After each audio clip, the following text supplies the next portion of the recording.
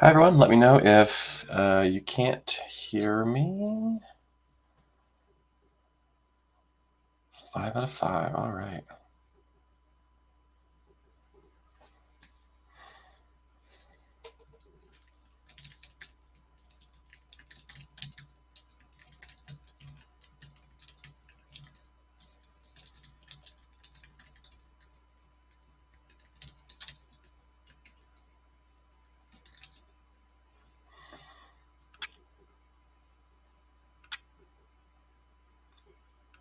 Let's just test this just in case. Okay, good deal.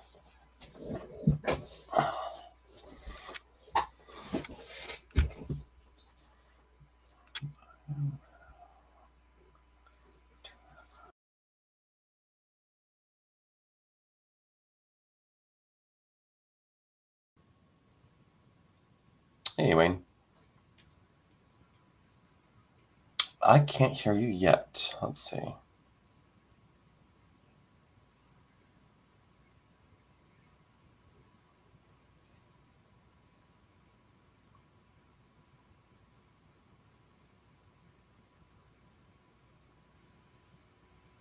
I'll uh, I'll I'll yell when I can hear you. Okay.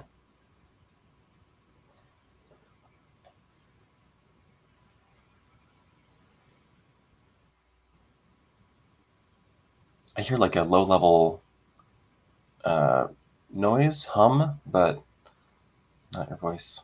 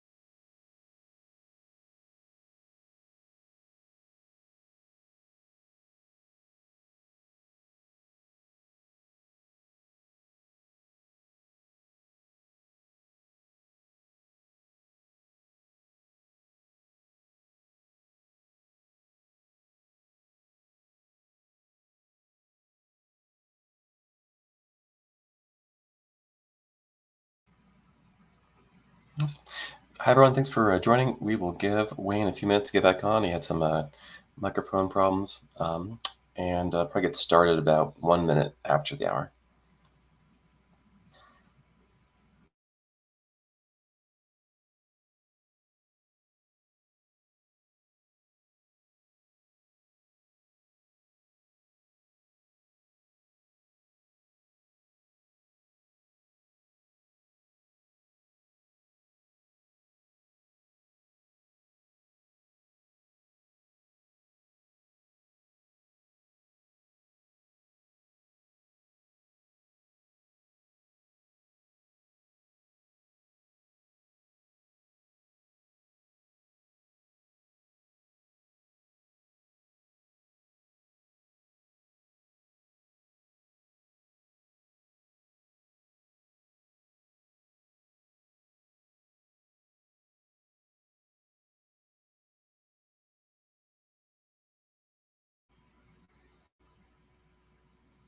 All right, adding Wayne back.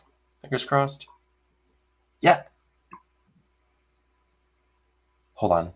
Something's weird.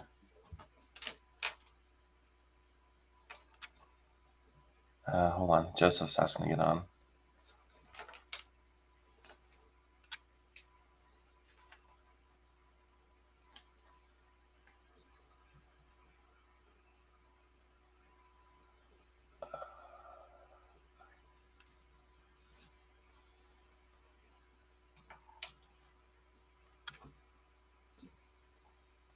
Um, I can't hear you. I'm sorry. Um,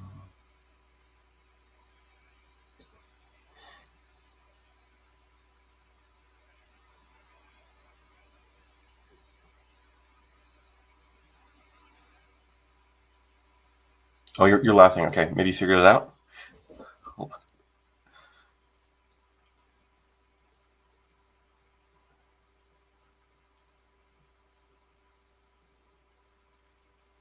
Okay, absolutely.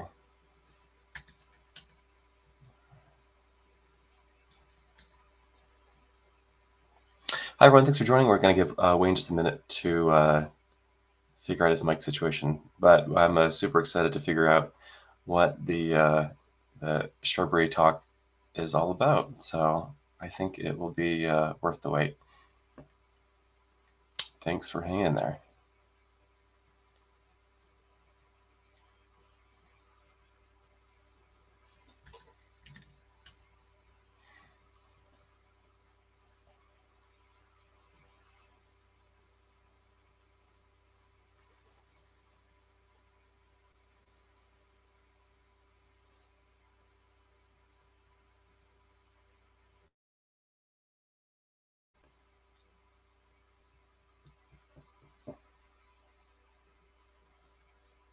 If you're just joining, we're just waiting for Wayne to, to um, try a different browser. He's having audio problems.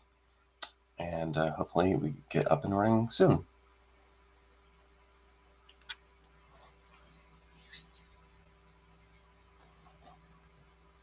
Wish I had some uh, hold music to play or something. Oh, okay, he is joining. Fingers crossed.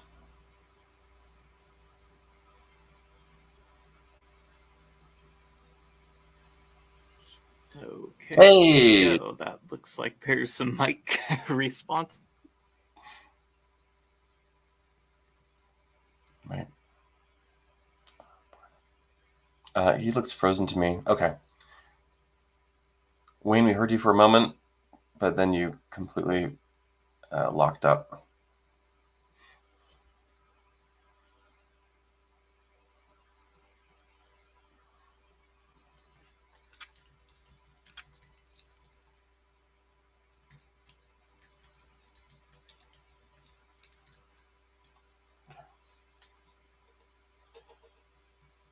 Yeah, uh, in the chat, looked like um, Thomas Phipps was also saying the Frozen.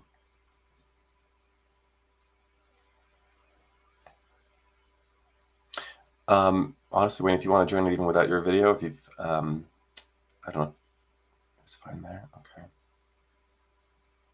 Well, jump back on, Wayne, and we'll uh, we'll let the chat decide. Just make sure they can see you okay. And I'll turn my video off.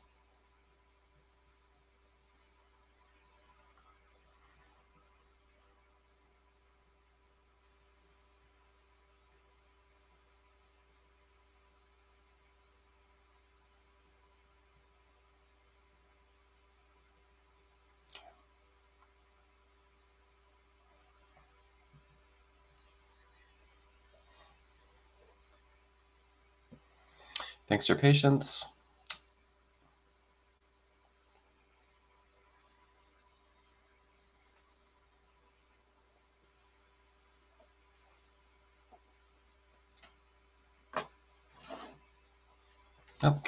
Is joining again.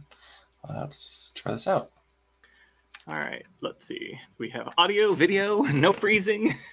Okay, I plugged in a hard line, so that should help. That looks great. For the sake of time, right. let's just we'll skip we'll skip your your whole bio and uh, I'll hand it over to you because we're excited to figure out what shrubbery and landscaping taught you. Yeah, all right. Sounds great. So let me share screen here and all right. So, uh, title of this talk uh, Bring Us a Shrubbery uh, Surprising Links Between Gardening and Software Development. Um, so, uh, start out with a little story time here. And uh, once upon a time, on a warm weekend uh, in June earlier this year, um, we had this plant here in the that was growing out of our flower bed, and we wanted to plant something different. Um, and so those, you know, finally decent enough weather, so uh, decided to go ahead and uh, start taking the thing out. Now, of course, I could just cut it off, but if you just cut it off, then you have roots to deal with and it'll grow back. So, you know, really need to to dig down and get all the roots out. Well, um, as I started to dig and kept on digging and kept on and kept on, uh, you know, the timestamp on my photograph tells me that this actually was an hour later. Uh, as you can see, it's still there. Uh, you can also see in the kind of the right hand side of that photograph that uh, there's this long root that's probably about three feet long there uh, that we had dug out and was part of this plant.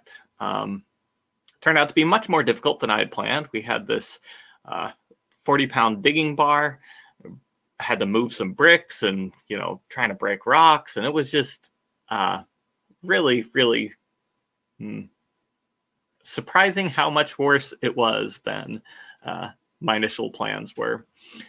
Well, that wasn't the only plant uh, that we had that needed to go. This other bush um, also needed to be removed.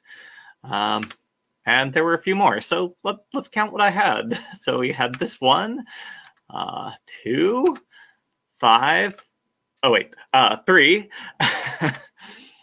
um, and this is a simplified drawing of what it ended out um, looking like. We had uh, roots that were wrapped around roots. They were wrapped around rocks. They were twisted around roots that were twisted around other roots. Uh, eventually, our whole family was out there digging and excavating and trying to get all the, the, the roots of these plants out. Um, it took us pretty much all day to, to get rid of these uh, three shrubbery. Um, and as I was as I was digging, I I started to to realize that there was a bit of a, a parallel with software development here. Um, you know, after we had dug through this, you know, this is what it looks like. Uh, took this picture just two days ago, um, but we didn't actually get all the roots out. Uh, there's still this little plant that has started to grow back, so it looks like I'm going to have to go back and, and dig some more. Um, so what what does all of that have to do with software development? Well, the thing that I realized is that you know software can be designed or it can grow organically. Um, usually when it's growing organically, it's because there's an immediate problem um, that needs to be solved. And so somebody fixes their problem. Uh, and then somebody else comes along and they have an immediate problem and they fix that problem. And so on and so forth uh, until you are left with this uh, system on the right here. Uh, you know, a tangled mess full of horrifying blobs and confusing logic and you just can't really figure out what part goes where. And uh, you know you change one line of code and everything falls apart on you. Um, and it, you know if you've ever dealt with a, a system like that you know how incredibly painful it is. Um, but on the other hand if you are uh, fortunate enough to have worked with a, a software system that's really designed well, um, it's typically easy to follow the, the logic path. It's easy to figure out which pieces are responsible for uh, which bit of functionality. Um, and so, you know, the there's there's this um, dichotomy between the two um, approaches to to software development. Um, and so uh, there's a bit of an interlude here. Um, a while ago, um, a couple years back, uh, we were releasing uh, several different versions of uh, Salt at a time. I think we had three main versions that we were um, maintaining along with all of the uh, point release branches as well. So it ended up being something like uh, six to 12 branches that we were trying to maintain along with the test infrastructure at even, any given time. Well, this this was something that grew and wasn't exactly designed, and so we decided to uh, take a step back and um, and shift. Right, uh, we wanted to change the way that we were maintaining um, salt because doing that was just impossible. All of our time was spent uh, doing merges backwards and forwards and and trying to keep things in sync, uh, trying to fix the tests, and uh, we just weren't shipping. Um, I think the the worst uh, date slip that we had was over a year that it took us to actually get a release um, out the door.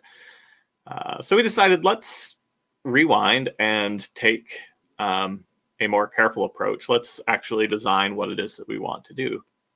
And so we uh, we changed to a single branch of development, um, and that that's the release schedule that we follow today, where we have our main release, and then we may have a point release uh, on top of that uh, if we have some bugs that need to be fixed.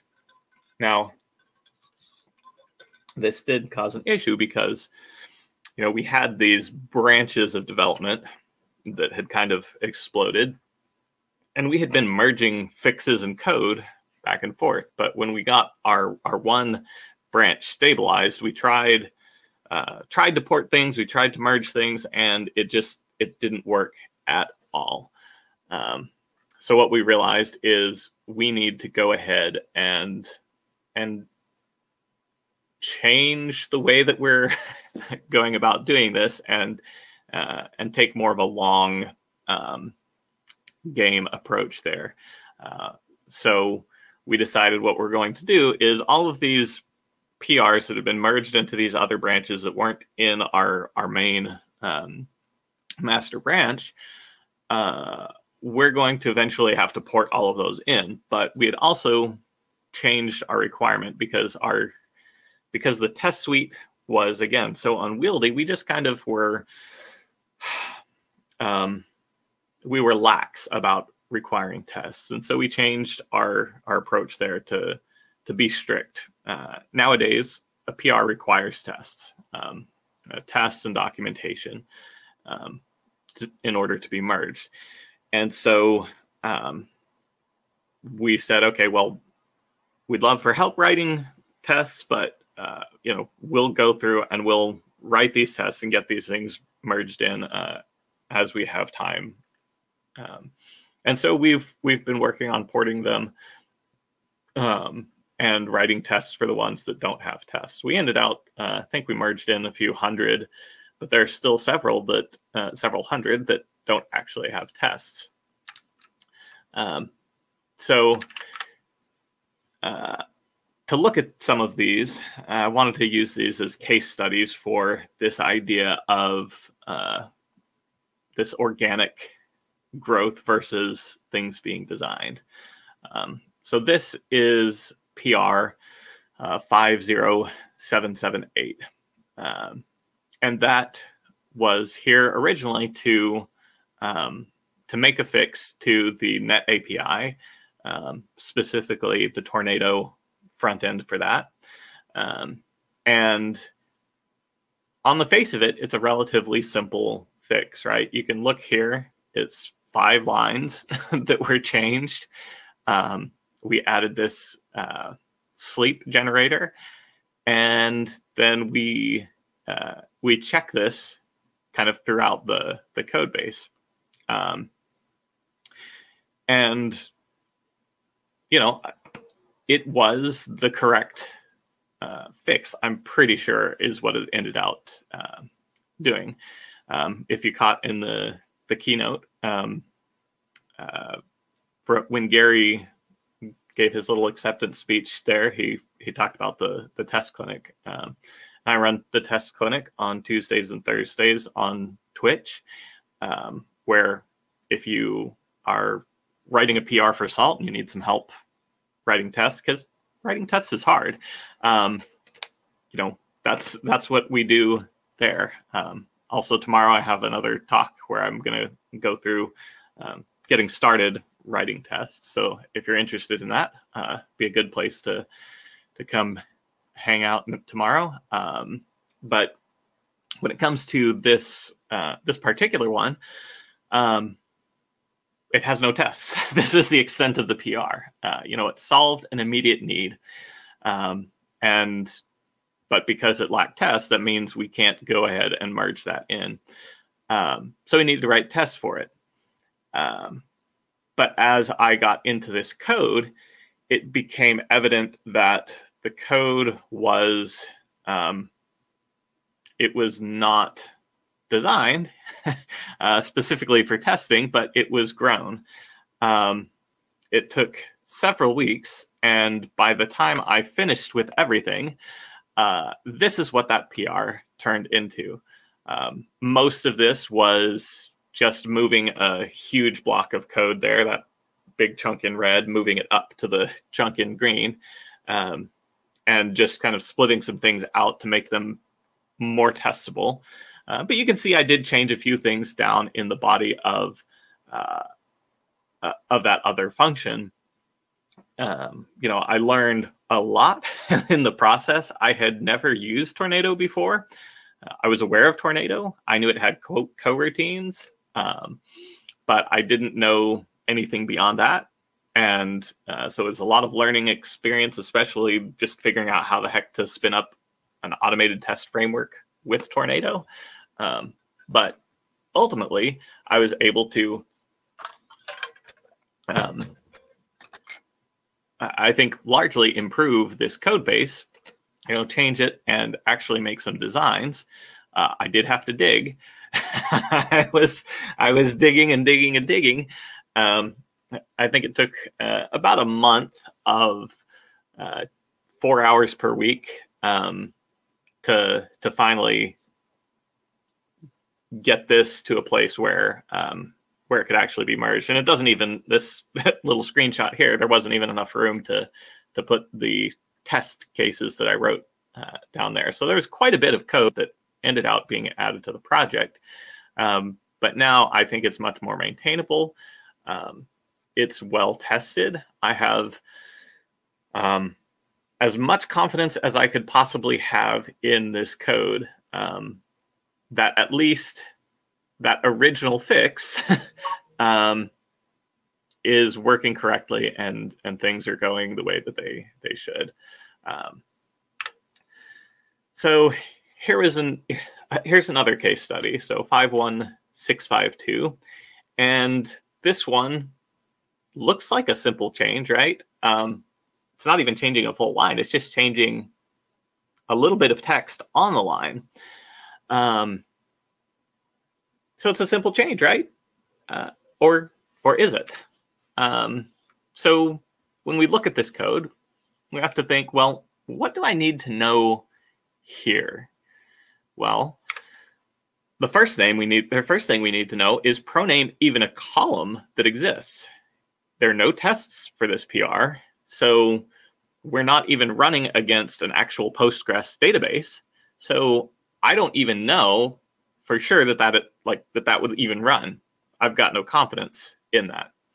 Um, so we we dig down a little bit and we start to see, oh look, there's some some more roots down there. Um, if proname exists, is it more correct than role name? Like, which is, is it doing the right thing here? Um, so we've got to figure that out. There's there's another route that goes off over that direction.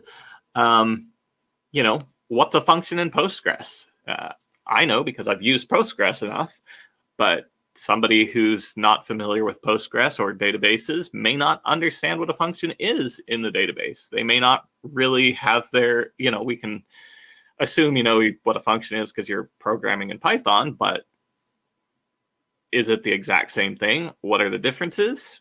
Do we know? Um, you know, if are there any other changes around here, right? Um, and if, because if this is a bug, are there other bugs that just weren't caught by whoever had this immediate problem? Um, and when I dug into it a little bit, I started to realize, wait a minute, proname actually just gets the name of the function. But this function here is actually trying to get the object owner. And so as I started to dig and dig, I, I started to see, uh, you know, there are roots everywhere within this um, within this module, and in particular this function. You know, the roots have just gone all over the place, and they're twisted and tangled. And what is solving an immediate problem may not actually be the correct design for the software. Um, so there's lots of digging that needs to happen. You know, we need to cut a bunch of roots here, a bunch of roots there. We've got to untangle it. We've got to make sure we're not cutting the roots of the tree that we want to keep. Um, you know, it ends out that there's quite a bit more than than appears on the surface. Um, so here's a another one, um, 50907. Um, you know, what's what's in the size? Um, this is changing a grain and it's returning mem total times 1024 by 1024.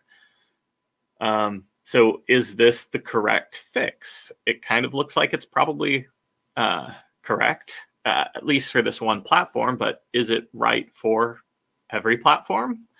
Um, you know, those are little roots and tendrils that you got to follow uh, follow along when you're writing these tests. Because I could write a test easily that would say, oh, whatever grains mem total is, that's what you need to return. Um, but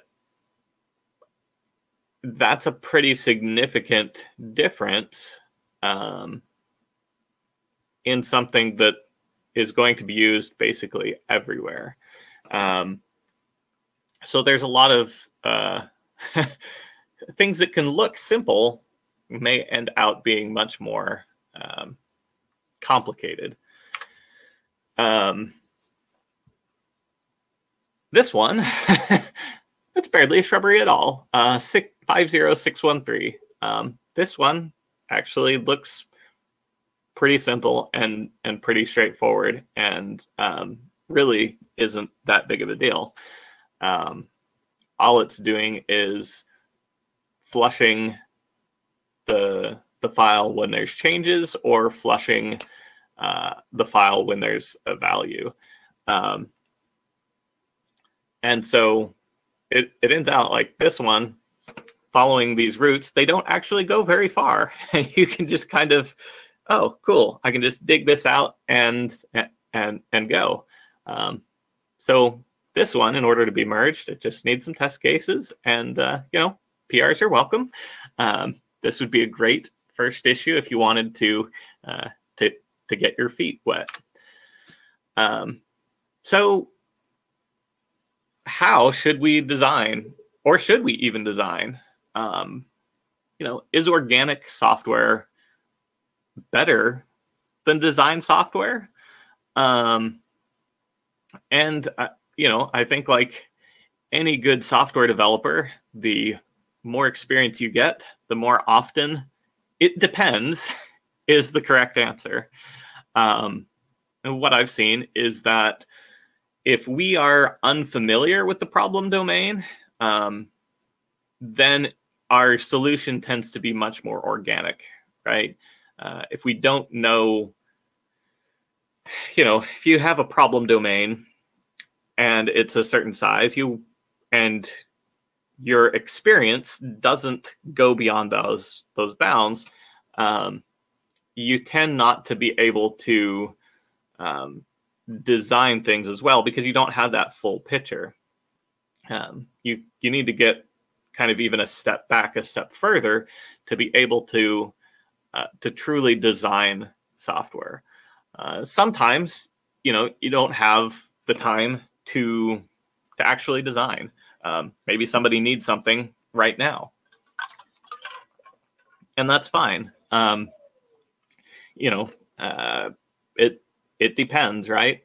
So if the choice is between having a good design and losing out on some business opportunities or other opportunities or having a organic design and being able to at least capture some of those uh, opportunities well sometimes you have to make that choice. You have to make that decision uh, with some of the stakeholder other stakeholders um, in uh, in your domain. Um, and then sometimes you have to say okay well we're going to do this horrible atrocious thing right now and then we're going to come back and fix it right?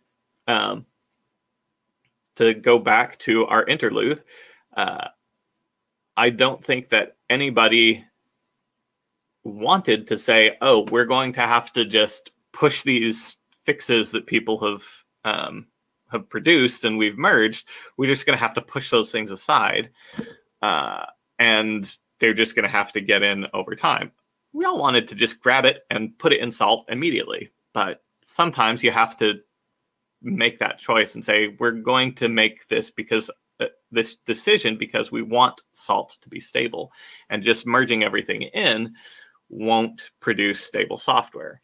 Um, and for us stability is is more important and a more urgent need than um, having those those fixes in that may or may not cause some more problems um, so that's really what I learned about um, designing software from gardening. Um, those the, the, the links between shrubs and software development. Uh, and uh, yeah, sometimes we have little tiny plants. Sometimes we have large things with a lot of horrible roots that you've got to dig into. And uh, yeah sometimes uh, sometimes you get the the luxury of being able to do things uh, well the first time. Uh, thomas asks in chat uh, can we get a plug for test clinic? Uh, yeah absolutely. Um, I, I, did earlier i don't know if you came in late but yes uh, Tuesday afternoons and Thursday morning, uh, Central Time. Uh, I run the test clinics. Um, always, always welcome. Um, you know, if you've, even if you're not really um, planning on testing something immediately, it's probably a good thing to come check out at least. Uh, uh, yeah, links to the test clinic. Let me dump this here in chat and I can also stop sharing the screen. Um, twitch.tv salt project OSS. Um, and also if you go to uh, saltproject.io, that is also a um, uh, an excellent resource for all things salty. Um, you can find links to Twitch and IRC, Discord, not Discord, um, Slack, um, kind of the whole nine yards there. So, uh, yeah, uh, other in things in chat. Uh, Jim Howard says there's never enough time to do it right, but there's always enough time to do it over. and uh, David says, I disagree. You almost never have time to do it over, which, yep, yep. um, yeah. Tom asks, do I need to make a Discord now? I don't know. I think uh, think we've actually had some people ask about that. There might be some unofficial Discord for Salt. There's also a uh, users mailing list. Uh, we have an RSS feed, especially for the um, uh, security announcements, if you're interested in that, which you should be. Um, yeah. Are there any other questions? Yes, yes, Salt on IRC as well. Uh, specifically on Libera.chat, we moved from Freenode. If if you have been around the IRC world, you know the kerfuffle that happened earlier this year about Freenode. uh, yeah, good times. some people make some choices, uh, but Libera is is where we live today. So uh, th- and it is actually bridged to the IRC channel on uh, Slack, and I believe that um, possibly Imran, one of the community members who um, works with the um, uh, formulas a lot. Uh, the I think he's the captain of the formulas working group. Um, I believe he maintains a matrix bridge as well for um, uh, salt. So if you're interested in that, uh, I know uh, I know he can point the way to that, but it's not uh, officially maintained that I that I'm aware of. Um, yeah.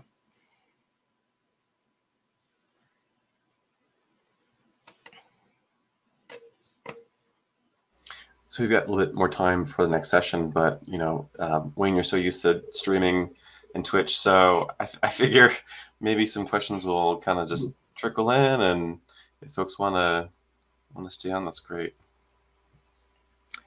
Yep. And yeah, let, let, us know when you when you want to break. sure.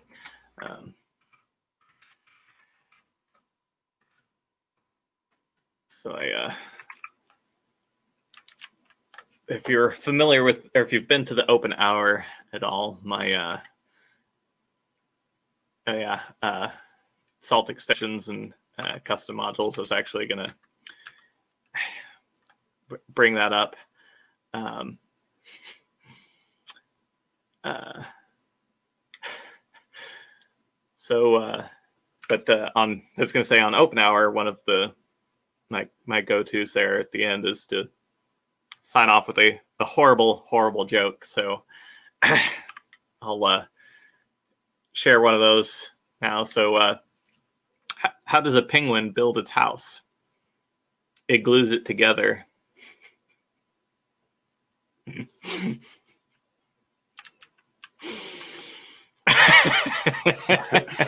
Size right. Yep. Waka waka waka. uh, yes. Um, so some other questions there.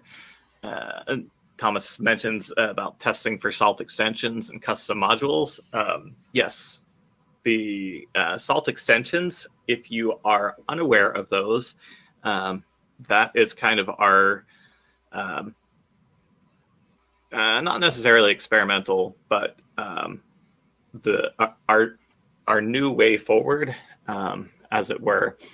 Uh, the the goal behind Salt Extensions is to offer pip installable um, solutions um, for basically extensions to Salt. Um, one of the things, you know, we talk about this, uh, all the support, right, and that whole test framework, and how it just took forever uh, you know, if you've submitted a PR to Salt, you may be aware that it, you know, our our test suite is not fast. Um, if we run the complete test suite, I think it takes about six hours to run. Um, but when you look at the list of modules that we have in Salt, um, being a list of the uh, modules directory, um, I get 528 modules. Um, so, and that's just the modules. That doesn't include states or necessarily utils. Um, so the the test suite takes a long time, and like Thomas says, it doesn't it doesn't even test. It's not hundred percent test coverage. I think we're roughly forty percent, a little over forty percent test coverage now. Um, so it's you know there's this huge um, blocker, I guess, or amount of friction when it comes to um, to to making fixes in in Salt. And so, uh, rather than try to hold everybody and everything back, we realize, you know, most of these modules are either a sort of standalone, um, or b maybe just not really that um, that central. So Salt currently has this batteries included approach where just everything lives in the Salt repo. And so we've realized we probably want to start breaking that out. And the extension modules um, have been a way for us to uh, to change that a lot.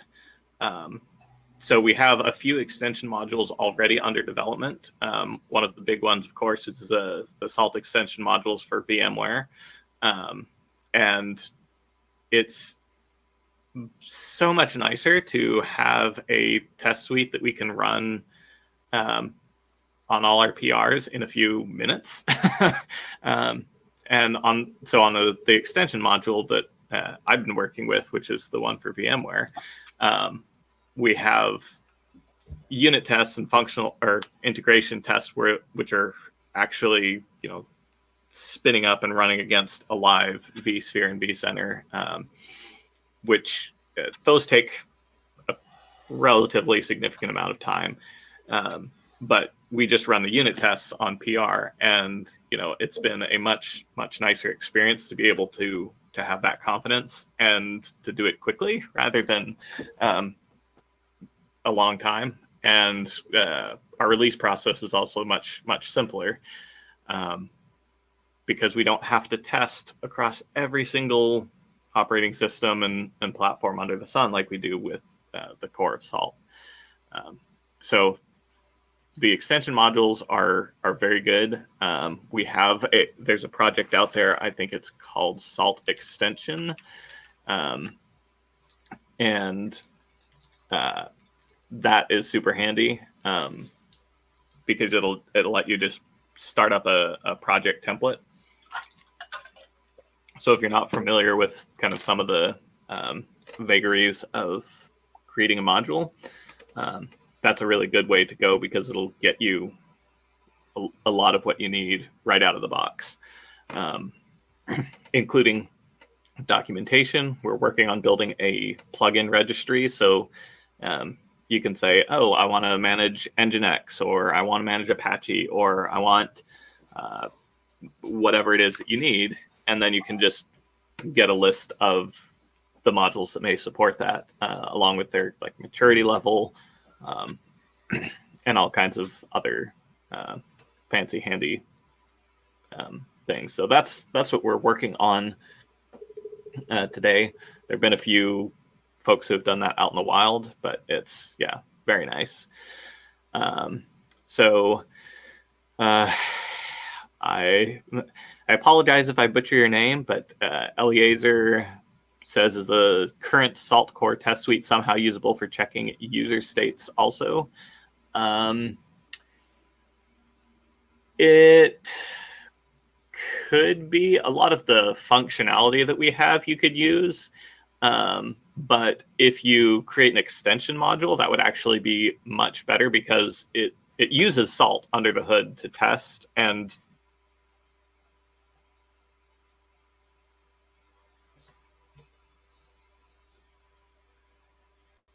Oops. Uh,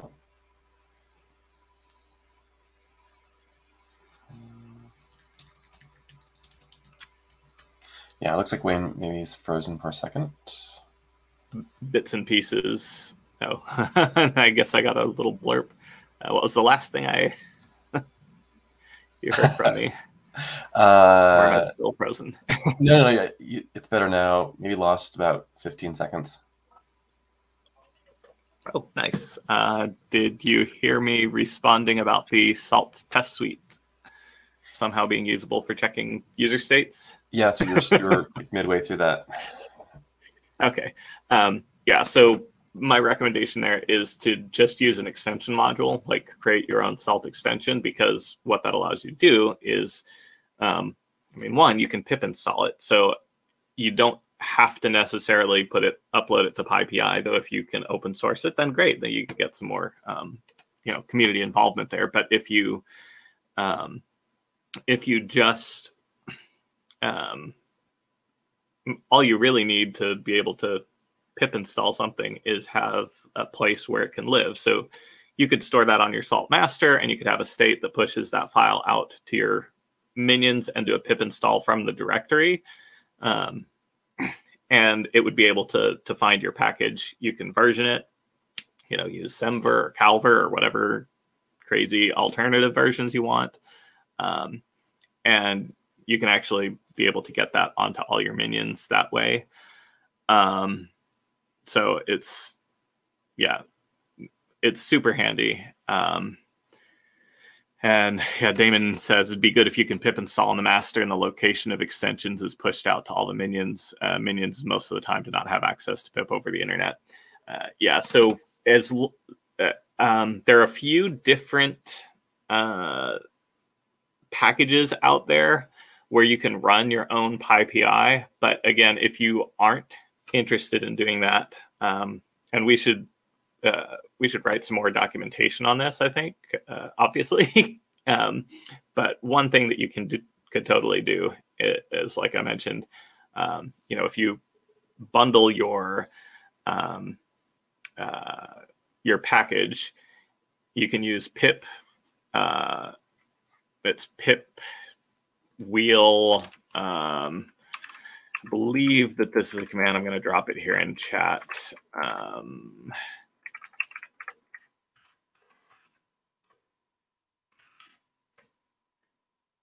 And what that would do in your extension module is it builds the wheel that your it builds your extension module into a wheel, and then it also downloads all the other wheels that your um, module depends on, and dumps those into that dist directory.